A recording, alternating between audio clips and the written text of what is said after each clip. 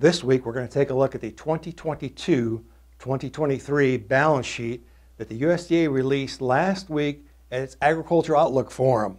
We're also going to focus on the highest price ever for November soybeans here in early March, and we're going to take a look at the latest weather trends in Argentina.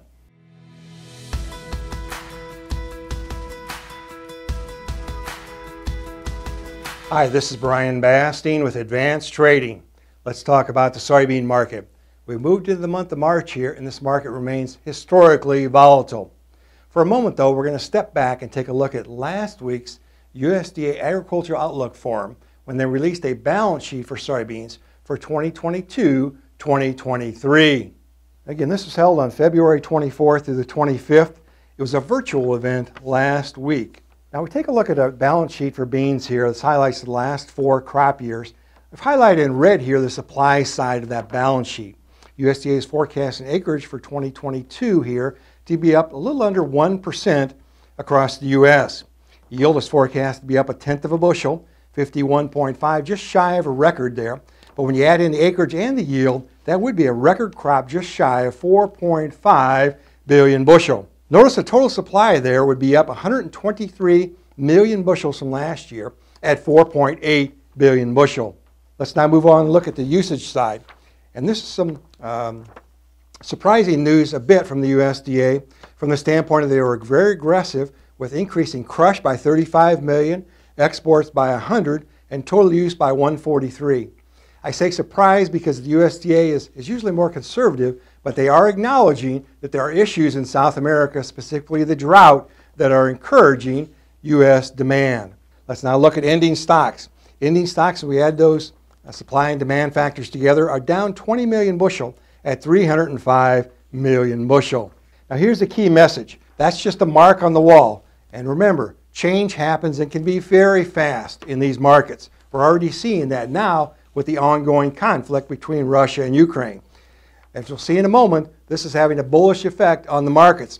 But again, change happens and can be very fast. As far as the markets, we're looking at November soybean futures now trading near 1475 as we tape on Tuesday afternoon. That would be the highest price ever for November soybean futures for early March. So in this environment, we strongly encourage you to work closely with your trusted risk management advisor to manage price movement.